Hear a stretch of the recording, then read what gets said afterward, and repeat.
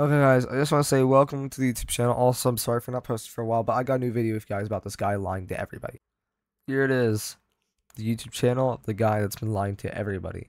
He has stuff like girl tag is insane, which is funny, and he has inappropriate content like this.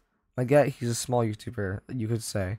But also, he just lied to everybody. He said stuff saying that stuff like this would work, and all it would do was pull your email. Because guess what? I used the email, put on my one of my favorite protectors, and then when I let it go, I woke up this morning and found out day after I put that email out, and it's not signed into anything else. It's not signed to YouTube.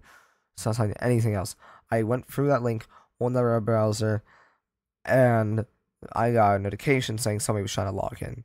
So my idea is this guy's trying to hack people or he's lying a lot because also I also asked him like in one of my comments and I'll show it on the screen up here but I asked him hey um I waited here for like three hours and now it's like I have to wait another three hours I never got download and he said he was gonna add me on Discord and send it to me.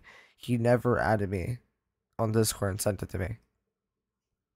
Also I was gonna there's some other comments there saying some stuff that they're actually right about so I'm gonna put those four up here. There's one right there right there right there but yeah, please do help us get this guy down. And also make sure you subscribe to me. The guy that actually tells the truth, unlike this fat little liar.